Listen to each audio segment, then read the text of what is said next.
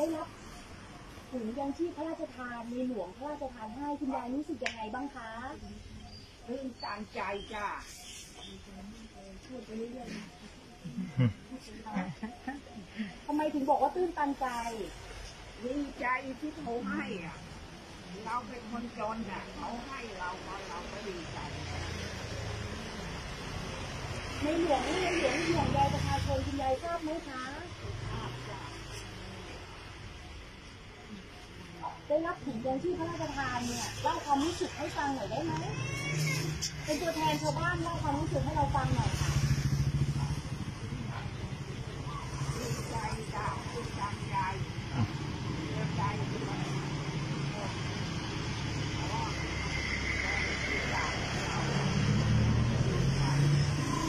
เราอายุเท่านี้แล้วในหลวงยังแจกเราอะเราก็ยังดีใจ ดีใจที่ไม่ทอดทิ้งเนาะเราเขาให้เราแค่นี้เราก็ดีใจทุกอย่างเลยดีใจมากตื้นตันใจ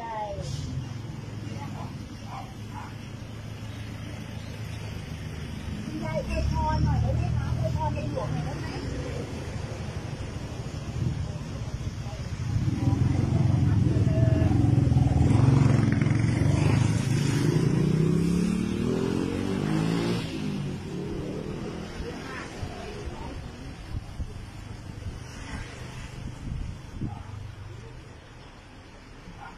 ให้คุณยายอวยพรอวยพรหน่ อยเร็วอยพรในหลวงหน่อยค่ะอวยพรหน่อยเร็ว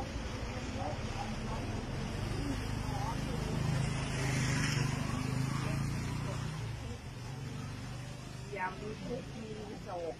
มีโรคมีภัยขอให้อยู่เย็นเป็นสุข